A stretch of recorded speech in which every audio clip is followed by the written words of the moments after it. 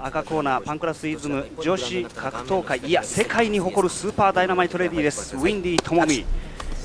復帰から負けなしをできているウィンディさあそれに対するはさやか柔道仕込みのその切り回し惜しいフットワーク。今夜どう見せるのか。さあパンクラスアテナ。第1ラウンドが開始されました。さやか対ウィンディともみの一戦です。黄色いシャツに黒のスパッツ。えこちらがさやかです。ガールファイト ACC 対するもういつもこのおなじみのコスチュームになってまいりました。黒と赤のこのテカテカとこのいわゆるこの象徴するような、えー、コスチュームに身を固めているのがウィンディともみです。もうすでにおなじみの格好になってまいりました。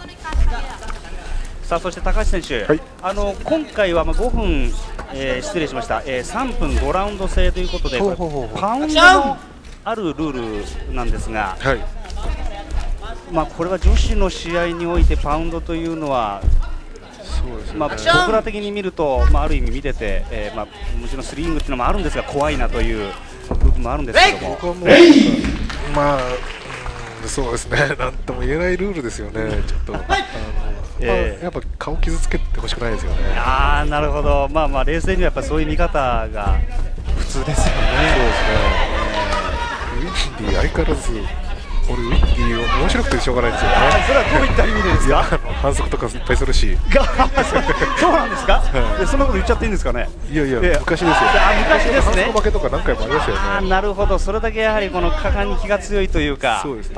えーまあ、とにかく負けを認めたくないタイプの選手ではありますからね、はい、さあこのウィンディですが、まあ、怪我による長期欠場から復帰したのが、えー、6月の5日、バッカス戦になります、まあ、それからあ4連勝、えキック全日本キックの試合を入れて4連勝を今まで飾ってるわけなんですが、もう勢いづいて止まらない状態、とにかく試合がしたくてしょうがなかったというこのウィンディ。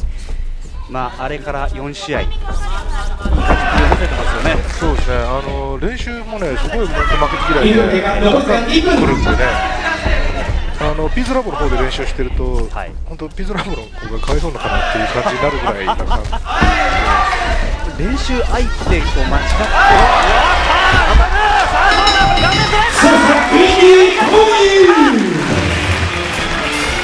いやこれがウィンディですよね。今のはいすごかったですね。強烈なはいこれ顔面正面から入りましたか？